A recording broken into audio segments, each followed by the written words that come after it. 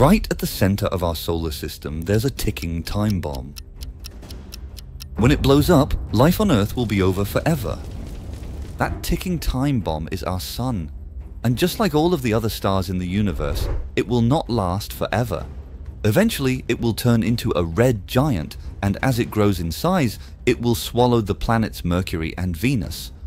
Meanwhile, on Earth, the oceans will be boiled away, the ice caps and all evidence of them obliterated, and the moisture from the atmosphere will be stripped. It is then very likely that the Earth will also be consumed by the Sun. But that will not happen for another 5 billion years, so it seems like we are safe for now then, right? Wrong. You are about to learn about some of the many things that could kill off the Earth between now and then. Earth gets hit by small asteroids frequently. However, every few million years, a massive asteroid comes along with the potential to wipe out all life on our planet. It happened in the past, 66 million years ago, when a 15 kilometer wide asteroid struck the Earth off the coast of Mexico. This event is widely recognized as the one that wiped out the dinosaurs. It could happen again, and this time it could lead to the extinction of all humanity. Deep within the Earth lies a scorching, fiery core as hot as the sun. However, this intense heat is gradually fading away. Over time, as the Earth's core cools and solidifies, the Earth's magnetic field will disappear. Without this protective shield, we will be exposed to dangerous space radiation that could overheat the planet, making it uninhabitable. The planet could also be exposed to waves of solar winds that might sweep away the oceans. With our atmosphere irreparably damaged, Earth could eventually resemble Mars, with much of its breathable air gone. Imagine if the Moon somehow broke free from its orbit and came hurtling towards the Earth. It would cause catastrophic earthquakes all around the globe. The Moon's gravity would stretch and heat our planet, leading to enormous volcanic eruptions.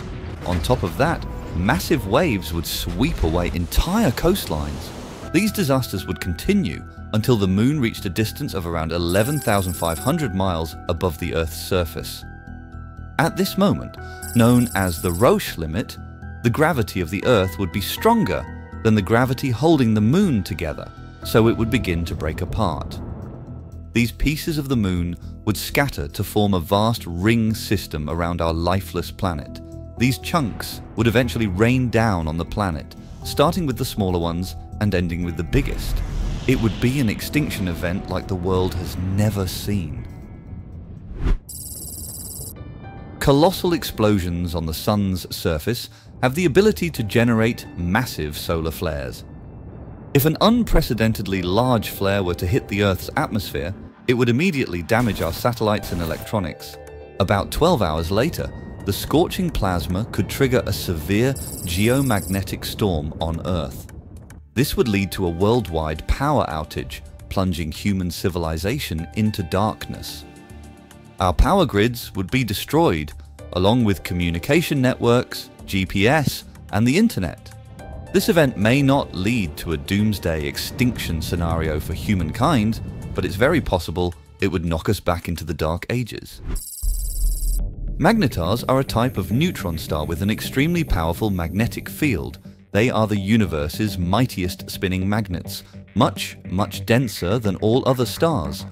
Just one tablespoon of a magnetar weighs a staggering 100 million tons. If a magnetar was to arrive in our solar system, its immense gravity would cause havoc, disrupting the orbits of the planets and causing changes to the solar wind, leading to widespread damage to the planets and their atmospheres. As if that wasn't enough, magnetars also experience starquakes. When these occur, huge gamma-ray flare emissions are released into space.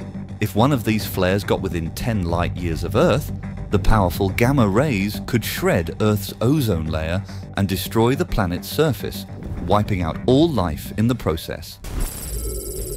The prospect of aliens visiting Earth might seem like a dream come true, but it could potentially turn into a nightmare. If the visitors were intent on not coming in peace, things could get ugly fast. Seeing that they will have already travelled here from vast distances, we can presume that the visiting aliens would possess much more advanced weapons than our own. If they were intent on destroying us, they could potentially wipe out humanity with some type of mass destruction weaponry, or even a form of biological weapon. Another option could be to eliminate our technology, and along with it, our ability to retaliate or resist by using some kind of electronic magnetic pulse. We can safely assume that it would not end well for us in a hostile alien encounter, but a friendly one could also spell disaster too.